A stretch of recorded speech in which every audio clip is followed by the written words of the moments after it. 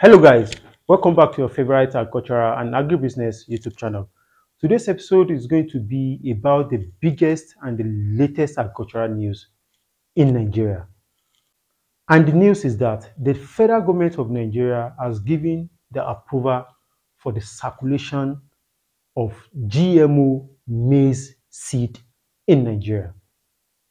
So, and the purpose of this video is just to educate us as a farmer and even as generally as a Nigerian about this GMO and the latest approval given by the government. What does it mean for the government? What does it mean for the food security in Nigeria? What does it mean for the farmer? What does it mean for the ordinary Nigerian, the consumers? But firstly, before I go into details of all this, let me just briefly talk about the GMO and the approval of the, of the government. What is GMO actually? GMO is basically genetically modified organism. And what does this mean? This means that the gene of the plant or the animal has been engineered to perform so, some certain function that is not naturally attributed to those plants or to those animals, such as resistant to pests, resistant to disease, resistant to environmental factors like rainfall or to like uh, drought, I mean, so much and so forth. Why do we need GMO? These are the most of the common question people ask. Why do you need GMO? Uh, the main reason why scientists develop GMO is for us to achieve food security, to improve their, to improve our food production per unit area. Now, that being said, uh, there are also concerns all over the world about uh, the health risk or the health benefit associated with GMO.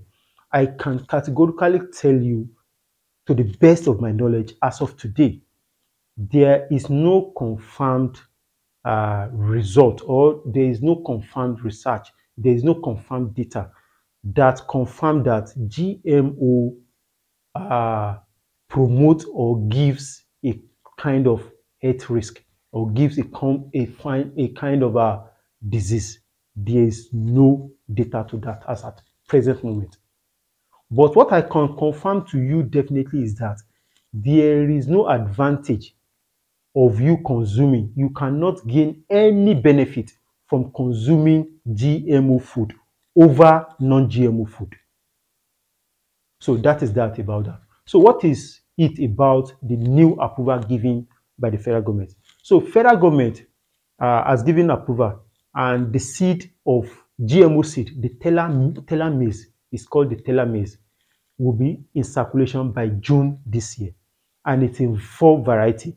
We have the SAMMAZ 72 variety, 72T variety, SAMMAZ 73T variety, 74T variety, and 75T variety. These are the four variety of the GMO EMO approved in Nigeria. And Nigeria is not the only country that is implementing this project, the Tela-maize project. The Tela-maize project, GMO project, is being implemented in countries like Mozambique, uh, countries like Kenya, countries like Ethiopia, and countries like South Sudan. These are the five countries that is running the Tela-maize GMO seed concurrently in Africa as at today. So it might interest you that uh, some countries are banning GMO, some countries are adopting it. Yes, uh, the, the aim of each government of each country differs. What the federal government of Nigeria want to achieve with the GMO seed is improve productivity on the part of the farmers. And that is why I'll be listing some attributes of this GMO that is approved in Nigeria. The number one attribute of the seed that, is approved in Nigeria, the Tela maize seed, which is the GMO seed approved in Nigeria, is that it is drought resistant. It is drought tolerant, I mean, which means that it can produce favorably. It can survive with little rain. With number two, uh, uh, attribute to this seed is that it have resistance to stem borer and fall armyworm. If you are a maize farmer, these two particular pests They are the one of the most important pests that, that attack maize plant and maize farm, and they cause serious havoc and serious damage, resulting into low productivity. So uh, this seed, this improved seed, this GMO has taken care of that. And this seed also have the attribute to produce ton, 10 tons per hectare, which when you compare it with the hybrid, the latest hybrid we have in that category, which is which can only produce 6 tons per hectare in Nigeria presently. So on the part of the farmer, this approval means higher result, higher yield per hectare for them, which means uh, more productivity and more money for the farmer. On the part of the consumer, it means our consumption, our eating pattern will be different now. Because in the developed world, you have the right to know what you are eating. It's your body and it's your money. So, uh, and I hope Nigeria government will bring something like this to the know uh, to the system of the of our country for us to differentiate in the market to know whether this seed is just the normal seed, uh, the normal food. This conflict is made from the normal maize or is made from the conflict uh, from the GMO. If this powdered pap is made from GMO or is made from the normal and you pay accordingly, consumers have the right to know what they are consuming or what they are paying for. That is it. So uh, this development is being uh, pioneered by the Institute of Agricultural Research in Ahmadu Bello University in partnership with uh, there's a in partnership with Tela Maize Project uh, Africa, uh, and that is it. So by June this year, we should be on the lookout for for GMO GMO seed to be available to farmer.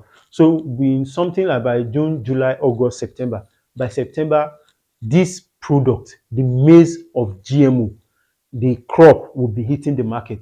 So if you are somebody you don't want to hit GMO, you have to be on the lookout because maize production will not be the same in Nigeria again. It will not be the same in Nigeria again. So it's a game changer if you have preference. Ask question before you buy your maize, your custard, your conflicts, your pap will not be the same again. It's for you to ask question or to grow on your own. Thank you for your time, and I hope you have gotten information about this GMO seed uh, to, to a very, very reasonable uh, extent. Uh, with this, I've come to the end of today's uh, topic, and I hope you got value one way or the other. I'll be dishing out more information as I have it about this GMO seed uh, in my next uh, video. Thank you for your time and see you on the next one. Sheshe.